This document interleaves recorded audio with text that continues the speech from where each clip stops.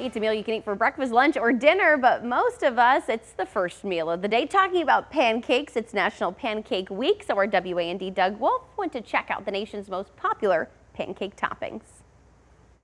It's morning time and you can just smell the bacon, or maybe some eggs cooking in the frying pan, or maybe you will have a plate of pancakes. Whether you make breakfast at home or go to places like the Downtown Cafe in Decatur, you will find great pancakes with a delicious topping. What is the most popular toppings in the U.S.? Well, OnlineCasinos.com did a survey of 1,500 people across the country to find out which are the toppings people crave.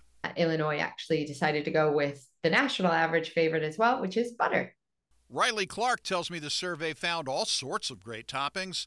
Maple syrup is very popular, but they wanted to know what else people enjoyed, and a simple butter topping was a choice in many states. We did find that it was a favorite amongst states like Illinois that also said some more dessert toppings, right? Like the second favorite is chocolate chips.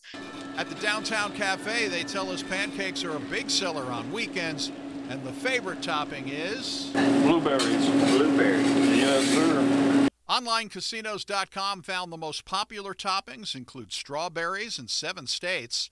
Chocolate chips are very popular in New Hampshire, North Dakota, and Arizona. South Carolina likes pecans, nuts, and whipped cream, while states like Utah, Kansas, New Mexico, and Rhode Island enjoyed toppings like peanut butter or chocolate syrup. Illinois residents say they enjoy eating pancakes three times a month, which is about double the national average. And then there are our friends to the west.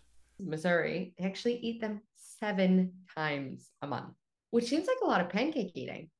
And what did Riley enjoy on a recent morning? I did like a healthy pancake. I did um, like a banana and oats kind of pancake. For all pancake lovers, it shows you can have your pancake and eat it too. Doug Wolfe reporting.